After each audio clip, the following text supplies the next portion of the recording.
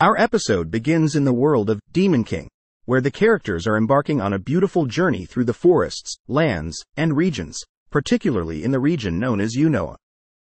Yunoa is located in the northeastern direction of the Demon King's palace, approximately a three-hour carriage ride away.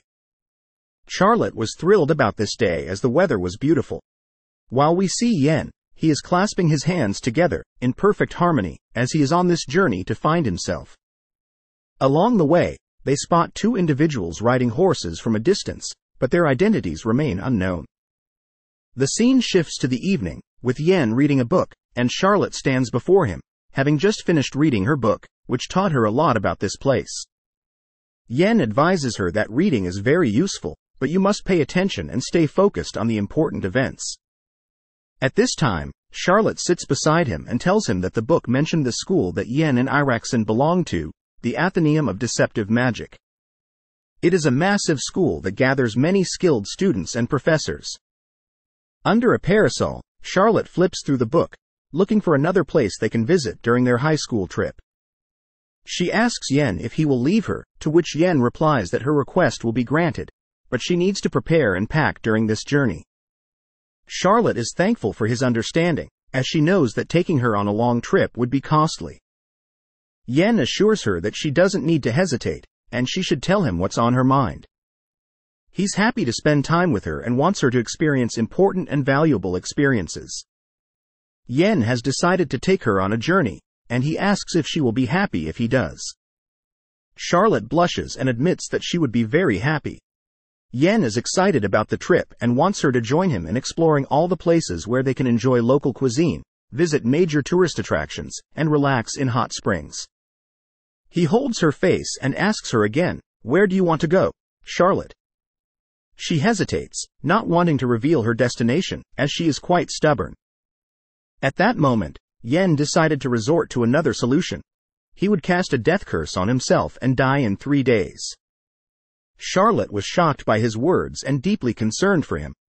Just then, a stubborn green-haired girl arrived and greeted them. When Yen asked her what she wanted, she told them that she had come here bearing a special gift for them. She handed them a white envelope and explained that it was a trip to the Yunoa region for two people. In the morning, Yen and Charlotte began their journey in a car, surrounded by beautiful forests and amazing scenery.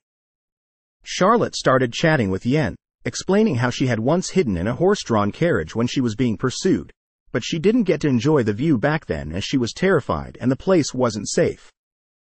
Yen reassured her that she was safe now and should relax and put those thoughts behind her.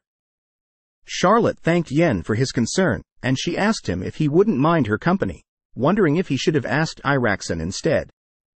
Yen replied that Iraxen was busy with some tasks in the kingdom of Narrows in the east. At that moment, the green-haired girl, along with Iraxen, rode horses behind them. It appeared they had planned this journey to the hot spring to draw closer to each other. The green-haired girl, who Charlotte called Cat Girl, explained that she had taken a paid day off for this, determined to have a beautiful day and see them getting closer to each other. The scene shifted back to Yen, who suddenly felt a shiver but couldn't pinpoint the reason for it. As Charlotte looked out of the carriage window, she saw that they were approaching the hotel mentioned in the book she had read the night before. It was the most famous inn in the Yunoa region, a three-star resort with a hot spring. They were also known for various services, from food to massages, and had many loyal customers. Yen asked if this was the most intriguing hotel for her. Blushing, Charlotte confirmed it was, but Yen noticed she was lying. He confronted her, and Charlotte was taken aback because he saw through her lie. She was surprised that he knew she was lying. Yen continued to observe her, sensing that something was amiss. Then Alan continued to search the book for the hotel that had impressed Charlotte the most. He didn't know if it was on an isolated island or not. Charlotte, with great shyness, asked him to stop his investigation, as she was content with the hot spring. However, Alan couldn't stop thinking about it. He wanted to know the place that made Charlotte so embarrassed in this way. She told him that the place she wanted to go was a place where only children wanted to go. Alan understood her words, and this shortened the way for him.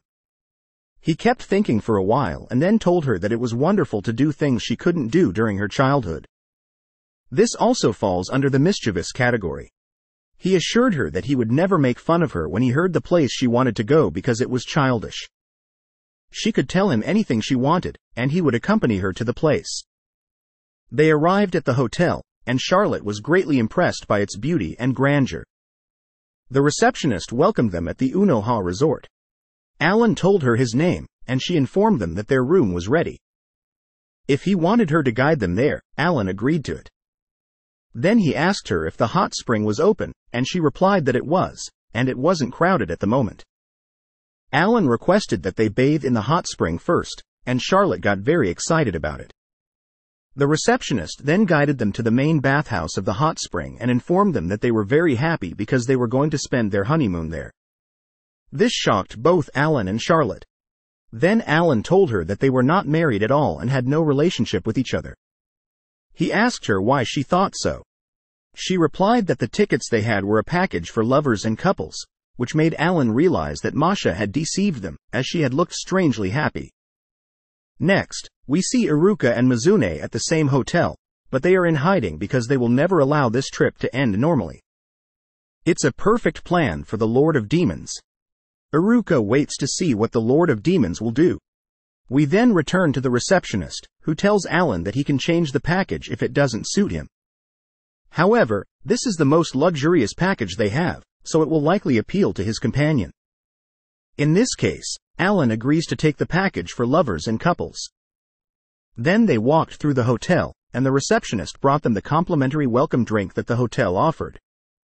Alan asked why they poured it into a single glass, and the receptionist explained that it was part of the lovers and couples package, making Charlotte extremely embarrassed. Iruka, who watched them from a distance, was happy that her brother would share the drink with Charlotte and act like a couple. The receptionist then guided them to the location of the hot spring, which had several facilities. They used various natural and underground hot springs. The most famous one was the open air bath, which had a fantastic ocean view, exciting both Alan and Charlotte. The receptionist asked if they had brought their swimsuits, and they were surprised because they hadn't thought about it at all. She informed them that the bath was mixed, meaning it included both men and women, so they needed swimsuits. Then she took Charlotte to help her choose from a selection of beautiful swimsuits, telling her to take her time. The girl at the resort said, We have many beautiful swimsuits, so take your time in choosing what you prefer. Meanwhile, Alan spoke to himself, wondering what would happen if he saw Charlotte in a swimsuit. He feared his heart might stop, but he didn't express these thoughts out loud. Charlotte emerged wearing her swimsuit, and Alan took her to the pool. She expressed her wish that they could stay there forever, as it was her first time in a hot spring. Alan reassured her that this was the only way to enjoy the hot spring. The resort employee then brought them ice cream, and they enjoyed it while bathing in the hot spring. Charlotte playfully mentioned that they could be mischievous in the hot spring, and Alan used his magic to ensure the ice cream didn't melt due to the hot spring's heat. Charlotte thanked him and ate the ice cream. Then the scene shifts to Iruka, who comments that the only sin they will commit in the hot spring is enjoying ice cream. She mentions that she wishes her father was here to enjoy it too, so she asks the employee to bring him some ice cream. The man asks the receptionist to cast a spell on the ice cream to make it extremely cold. In the evening, Charlotte thanks Alan, expressing how they bought double the ice cream today, and thanks to his spell, it didn't melt. She appreciates that they can make this visit special and unique. The resort employee informs them that there are many tourist attractions in the area, such as diving sites, beaches, and a hill where they can observe the Fernwar creatures. Alan and Charlotte are amazed by the existence of these magical and noble creatures, said to bring good luck. However, the employee tells them that it might be a waste of time to go there since it's currently the breeding season for the Fernwar, and they rarely come down from the mountain during this time. Disappointed, Alan and Charlotte are informed about another location for magical creatures, which the employee recommends. She then raises the notebook she had with her and tells them it's the magical Unoha garden from another perspective. Alan and Charlotte go to their room and are delighted by the sea view it offers. Suddenly, they are surprised to find heart-shaped decorations on their bed, indicating that they are seen as a married couple. They quickly call for the receptionist, very upset with her. On the other hand, Iruka, Mizune, and Free are listening to what's happening inside the room through a listening device, waiting for the next move of the Lord of Demons. Back to Alan, he suggests to Charlotte that they should get some rest and go to sleep, realizing that the room was specially designed for couples. He remembers the receptionist saying that when two people sleep in this bed, they can see any dream they desire. So, he suggests trying it tonight. Then Alan thinks to himself that the dream bed is a rare creation, made by skilled dream imps. He apologizes to Charlotte for the trouble of coming to this place for her, but he assures her that this bed is unique and made by expert dreamcrafters. It has the ability to sneak into other people's dreams, and he's very curious about it. They decide to go to sleep early and turn off the lights. Alan remarks to himself how comfortable the bed is, with the perfect height of the pillow and the softness of the mattress. Suddenly, he's shocked by the realization that he's sleeping with Charlotte in the same bed. Charlotte asks if he's asleep, and he tells her that he's still awake, asking if she has chosen the dream she wants to see. She reveals that she had hoped to see her late mother because she used to sleep close to her when she was a child. Alan uses a sleep-inducing light spell to help her fall asleep quickly, and she does so instantly. After Charlotte falls asleep, Alan gets up from the bed, saying it seems that the spell worked. He casts a compensation spell on himself called the Deadly Drop spell, which spreads outside the room as well. Iruka, Mizune, and Free all fall asleep, and Alan wakes up in the morning, finding Charlotte awake with tears in her eyes. She tells him that she saw her mother in her dream and that her mother spoke to her about him, reassuring him that she is safe. From another side, the receptionist knocks on the door and opens it to find Mizune and Iruka standing there. With that, our episode comes to an end. Can Alan truly protect Charlotte? That's what we'll find out in the upcoming episodes. Stay tuned.